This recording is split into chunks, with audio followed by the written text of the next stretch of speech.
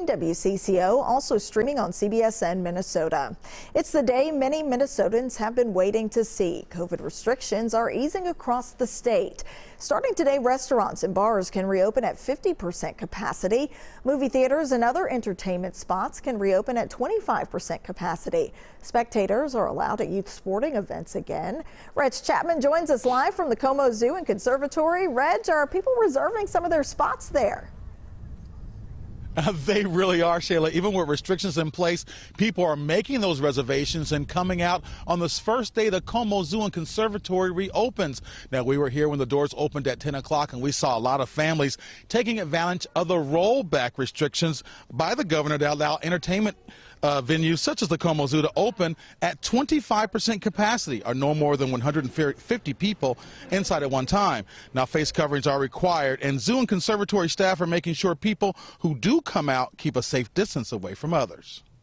So when people come into Como, we are on a one-way pathway. So from the time they check in at the front of the visitor center, which is a heated tent, they'll be directed through the zoo grounds on a one-way path so that they can see everything, but it will help us to social distance. But if people want to bypass the zoo and go right to the conservatory and get a little green and smell those plants, then they can just ask to bypass and they can go right to the conservatory only.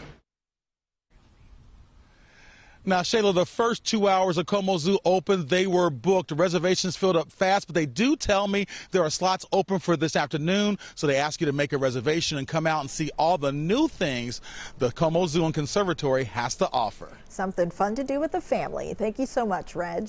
Yes. Bars and restaurants are reopening as well at 50% capacity, up to 150 people. Up to six people are allowed at each table. Each group must be six feet apart. But bar seating is open to parties of two, but not in the city of Minneapolis. Reservations are required. Dine-in service must end at 10 o'clock each night.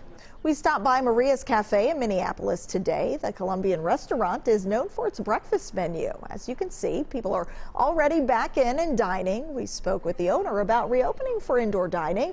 She says her customers have been supportive with ordering takeout, but she's happy to welcome them inside again we try to do our best because we want people to be comfortable mm-hmm. being here and it's very important to follow the protocols. Hospitality Minnesota weighed in on the changes, saying 50% is the minimum occupancy restaurants need to cover costs. The group says it is applauding the governor's move.